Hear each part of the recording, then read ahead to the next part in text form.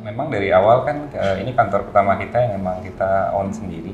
Nah di sini uh, kita harapin sebetulnya mau exercise dan summary juga dari desain kita selama ini supaya di dalam kantor ini kebentuk culture juga untuk uh, tim kita untuk semua yang ada di sini. Uh, terbiasa dengan standar-standar retail yang kita persiapkan juga. Itu tujuan utama untuk internal tapi kalau untuk secara desainnya sendiri, sebenarnya kita mau ruang yang berinteraksi sama kita sih, uh, lebih melibatkan senses kita. Karena di dalam praktek kita sendiri kan juga uh, ada satu guideline prinsipal yang selalu kita pegang itu mengenai spatial experience. Jadi kita mau uh, seluruh tubuh kita tuh merasakan space, nggak cuma secara visual.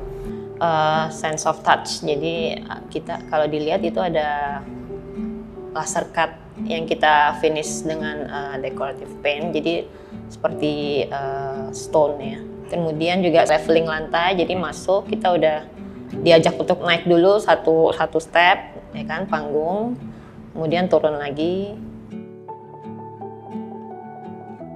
Ya kalau aku kalau bisa dibilang ya passionate lebih lebih lebih berapi-api. Jadi passionate, straightforward, jelas ya. itu clear lah semuanya. Clear. clear. Saya mungkin lebih cooling down.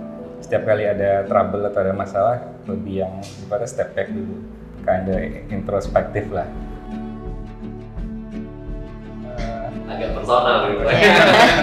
Nah kan memang kita berdua pasti walaupun punya uh, arah arah desain yang mungkin sama tapi punya karakter beda-beda.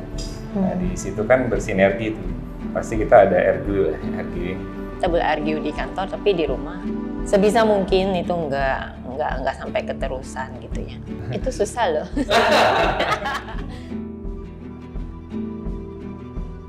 Kalau dari segi uh, apa appearance tampilan mungkin kita mau lebih nunjukin gimana kerja serius tapi pembawaan kita agak lebih relax saja kayak sense of space-nya jalan yeah.